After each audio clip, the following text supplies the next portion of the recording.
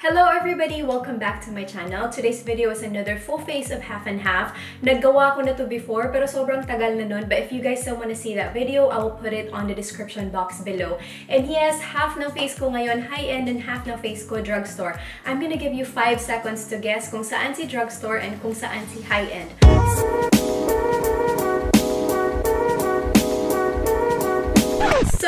Looking for a drugstore dupe doon sa mga mamahaling makeup na crush nyo tapos ayaw nyong bilhin, then this video is for you. So if you guys want to see how I did this look, then keep on watching. Okay, as you can see guys, I'm putting the Anastasia on the right side and the NYX Taman frame on the left side. And yung soft brown na Anastasia and brunette ng NYX Taman frame, pareho lang sila ng color. Pero this one, hindi siya ganun ka-pigmented guys ha, kasi na-dry up na talaga siya. So I need to repurchase. Gusto ko lang ipakita sa inyo na dupe yung dalawa. The NYX Angel Veil Primer is maybe 98% dupe kay Hourglass Mineral Veil Primer. Yung difference nila, yung consistency, Hourglass has a bit more slip to it and it's more runny compared kay NYX Angel Veil. But both will give you that blur, blur, blurry and soft focus sa skin mo. It's really beautiful. On the right side of my face, I'm just putting the Hourglass Seamless Finish Foundation Stick in the shade Ivory. And on the left side of my face, I'm going to put the e.l.f. Moisturizing Foundation Stick in the shade Natural. If you guys haven't seen my half and half video, yung comparison ko sa dalawang foundation na to, you guys should check it out. As in, you guys should check it out. Kasi, promise, as in, save your money. Kasi yung e.l.f. talaga, sobrang pareho lang yung effect nilang dalawa sa skin. Ang problema sa e.l.f., yung shade range lang.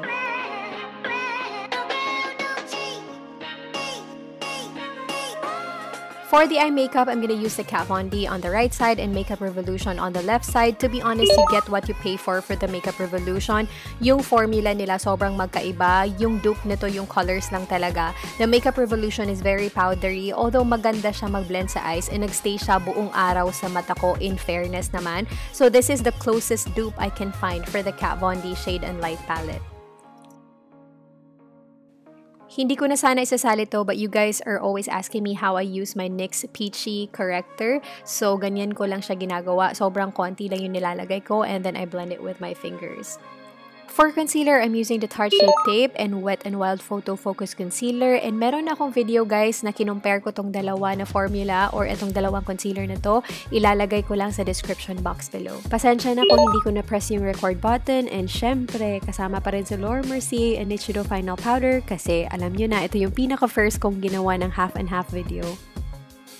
Dito guys, naglalagay lang ako ng eyeshadow. It's called Sasa from Colourpop para lang may life ng konti yung eyeshadow ko.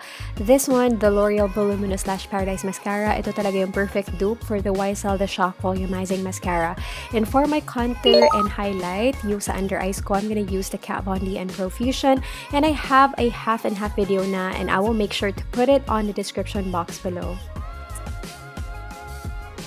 For bronzer, I'm to use the Marc Jacobs Fantastic Bronzer and Physicians Formula Butter Bronzer in the shade Bronzer. And when you swatch it heavily, guys, hindi sila pareho ng shade. But when you put it on your cheeks, as in yung pag-blend mo na, pareho lang sila ng shade talaga. Promise. And for my blush, I'm using the NARS Orgasm Blush on the right side and EB Blush Duo in the shade Golden Goddess sa left side. And yes, pareho talaga sila ng color. Mas pigmented ng onte si Orgasm. And for my highlighter, I'm using Becca Champagne Pop sa right side and Wet n Wild Precious Petals on the left side. Si Wet n Wild, mas darker siya na gold. Pero on your cheeks, it looks exactly the same. And ito, sobrang pareho lang yung color. Matte lipstick from MAC in the shade Whirl sa taas. And yung nilagay ko sa baba, e.l.f. Matte Lip Color in the shade Praline or Praline.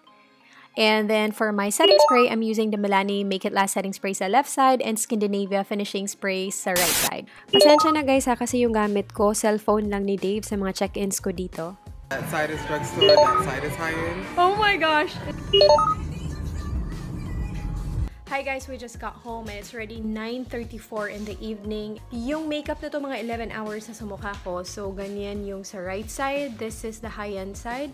And this is the drugstore side. So, let's start with the brows. Pareho lang na intact pa. Yung eyeshadow, ito yung high-end. Ito yung drugstore. And then, ano pa ba? Yung blush guys, sa totoo lang mas faded si high-end compared dito. Just ignore the dryness sa ilong ko kasi sobrang dry talaga ng skin ko ngayon kasi may sakit ako.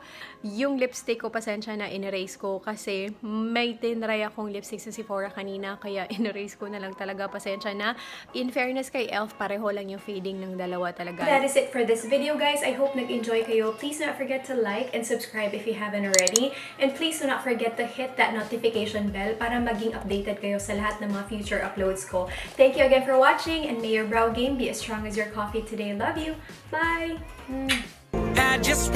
Dance